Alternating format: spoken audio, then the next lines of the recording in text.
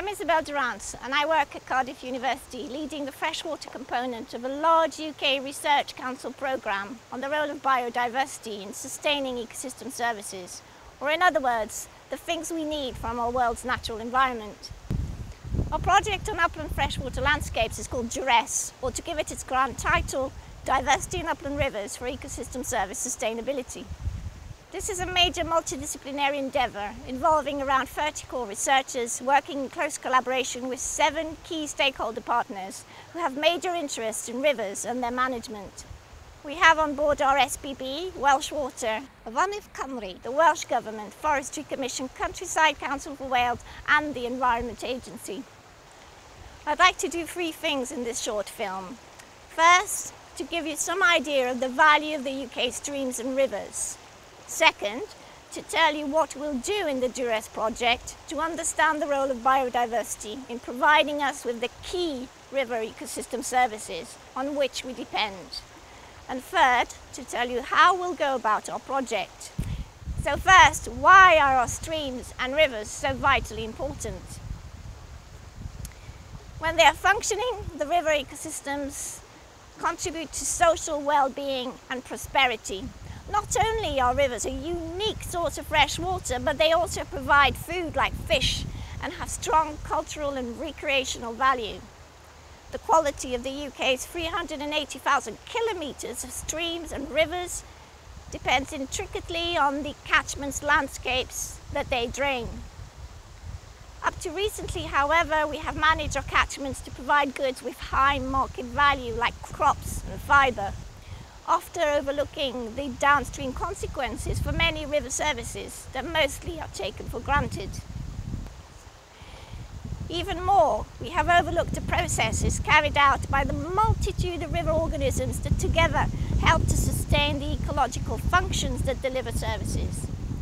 These same organisms are part of an intricate web of life that starts here in the river.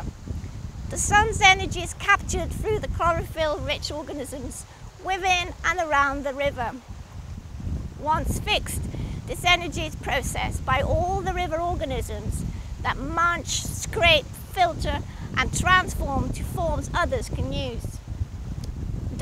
Through this web of life, everything from Atlantic salmon to dippers and kingfishers is created and fueled. But we still know very little of how different parts of this web fit and function together. We also lack quantitative understanding of how these river processes contribute to the clarification, purification and cost of clean water, or how exactly they produce organisms such as fish and birds that are such an important part of our culture and our enjoyment of freshwater landscapes. Understanding all of these processes more fully is vital to all of us pressures on ecosystem services will grow in the future as land use intensifies, water demands increase and climate changes. However, our current knowledge seems to suggest that if we manage our river landscapes positively to support beneficial in-river organisms, we could increase the ecosystem service value and sustainability of our rivers. And that's the overarching hypothesis that the duress team will test here in the uplands of Wales. In the duress project, we are studying river microbes, invertebrates, fish and river birds at all levels, from genes to food webs, and we will seek to address quantitatively, first, the links between biodiversity, ecological function and service delivery.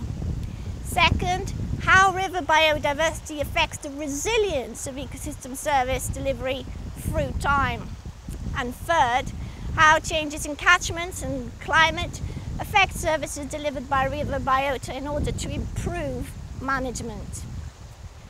At spatial scales ranging from experimental catchments to whole regions and temporal scales from days to decades, we will focus on upland Wales as a representative European region in which rivers are a major feature and also because of its long scientific tradition, Wales is rich in the type of data we need.